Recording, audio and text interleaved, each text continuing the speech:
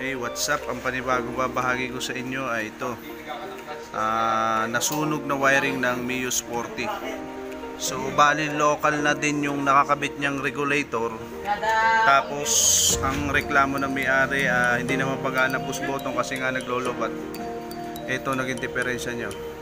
Yan, sunog. Atin ang ipo-full wave to para mas maganda ang charging niya. So, panoodin nyo kung paano mag-full wave ng Mius 40 regulator. Yan. 5 pin regulator siya. Ah, racing monkey ang tatak. So yan, panoodin nyo kung paano ikabit to. Yan.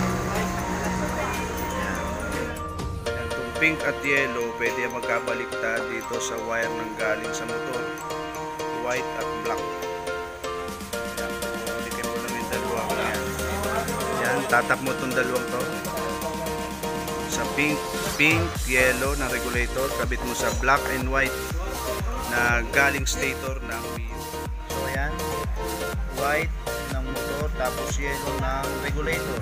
Tapos ang sunod naman ay pink dun sa black. Black ng motor.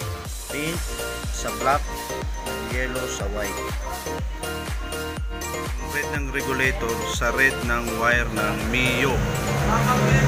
Ulit red ng regulator ay sa red ng wire ng Mio.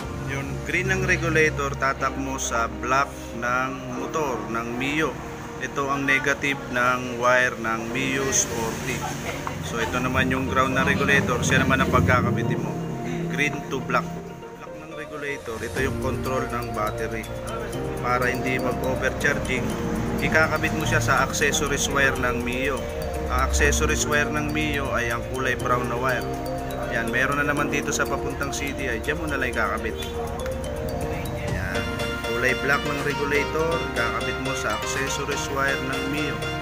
Yan ang simpleng uh, control ng battery ng Mio. Hindi tataas ang voltahe niya pag nakakabit.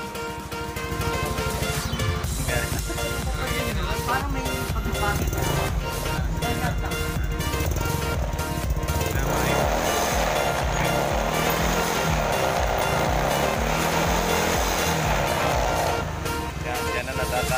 ang full wave ng Mio Sporty. So, shout out nga pala sa mga nagpagawa. Yan, mga tropa.